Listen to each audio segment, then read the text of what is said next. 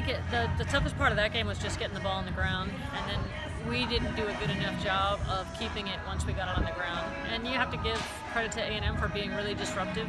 Um, you know, they, they kept playing a lot of long balls and being really physical, and you know, I'm sure that's something we'll see again. So it's a good learning experience for us. It'll be a little different game, I think, but again, I think it's it's going to be really important for us to show, show some resilience in that.